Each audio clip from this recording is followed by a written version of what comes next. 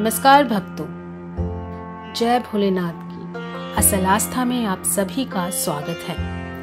आज हम आपको शिवलिंग की पूजा के दौरान किन विशेष बातों का ध्यान रखना चाहिए, इस बारे में बताने जा रहे हैं।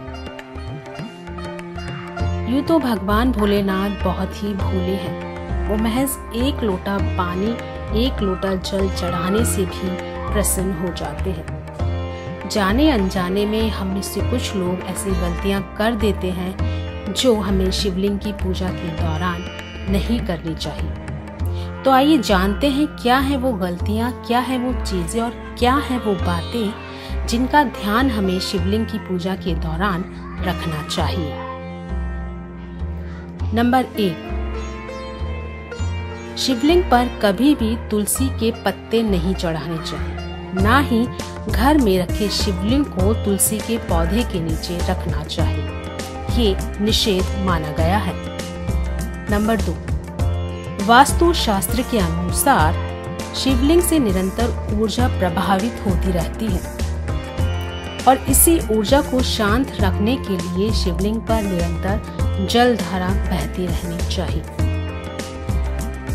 इसीलिए देखा भी गया है कि मंदिरों में शिवलिंग पर हमेशा ही जलधारा बहती रहती है। घर में रखे शिवलिंग पर हमेशा जलधारा बहती रहे, ये थोड़ा मुश्किल है। इसीलिए घर में शिवलिंग रखते समय इस बात का विशेष ध्यान रखें कि शिवलिंग पर जलधारा बहने की व्यवस्था ठीक प्रकार से हो सके।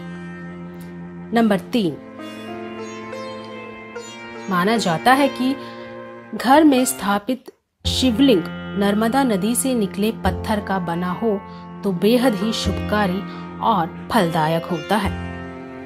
घर में रखे शिवलिंग का आकार हाथ के अंगूठे से ज़्यादा बड़ा नहीं होना चाहिए। बड़े आकार का शिवलिंग हमेशा ही मंदिरों में रखा जाना शुभ माना जाता है। नंबर चार। हल्दी और कुमकुम से कभी भी शिवलिंग पर तिलक ना करें और ना ही हल्दी और कुमकुम को शिवलिंग पर चढ़ाना चाहिए। हिंदू मान्यता के अनुसार स्त्रियाँ अपने सुहाग की लंबी उम्र की कामना के लिए कुमकुम लगाती हैं और यहाँ महादेव संहार कर्ता की भूमिका निभाते हैं। इसीलिए कभी भी हल्दी या कुमकुम से शिवलिंग की पूजा ना करें। नंबर पाँच जहाँ भी शिवलिंग स्थापित किया जाए या जहाँ भी शिवलिंग स्थापित हो, वहाँ पर जूते चप्पल नहीं होना चाहिए। शिवलिंग के आसपास की जगह और वातावरण साफ़, सुथरा और स्वच्छ होना चाहिए। नंबर छ कुंवारी लड़कियों को कभी भी शिवलिंग को छूना नहीं चाहिए। ये शास्त्रों में भी निषेध माना गया है। इससे उन्हें पाप लगता है।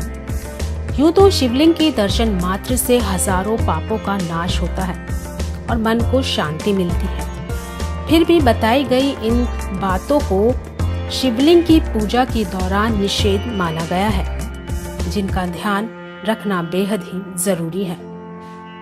शिव जी की कृपा आप सभी पर बनी रहे।